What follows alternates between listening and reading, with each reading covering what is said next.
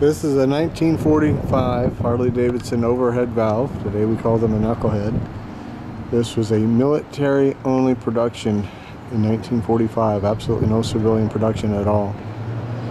I just got it from my buddy Brett Hatt. Needs some money.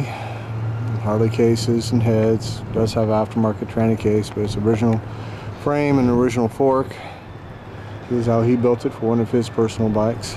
I have not yet tried to start it myself or ride it, so we're going to see how good I am at that.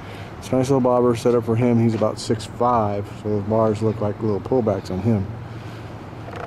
Makes me look like I'm a shrimp. So we do have the mechanical brake, a little bobber fender. This here actually goes on here like that. I have to pop off. I have not washed or polished this bike as I got it. Linkert carburetor,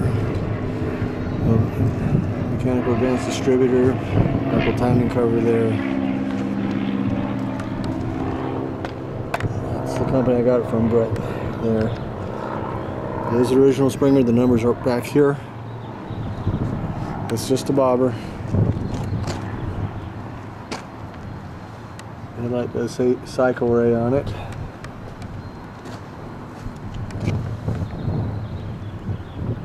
Appears to be an original Cycle-Ray headlight, yes indeed. So Brett tells me I sold this to him back about 2002. I've done so many bikes I can't remember. That's what's left of the original rocker clutch been cut down. Beautiful numbers. We're gonna fire it up here. Try this little machine. Give you an idea of the bike itself. Little sissy bar.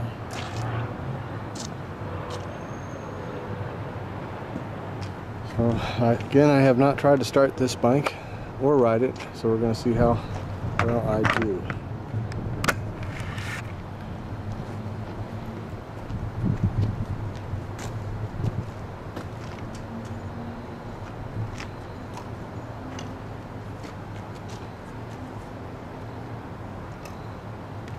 Choke's on, little retard.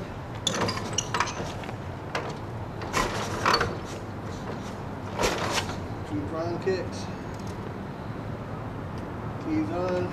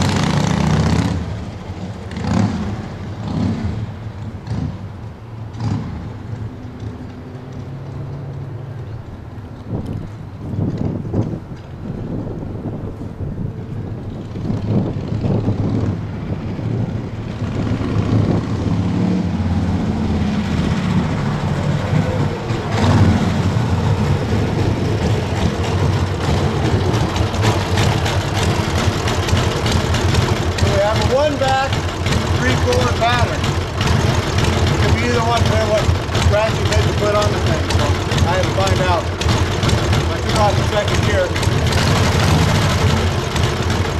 That's really good.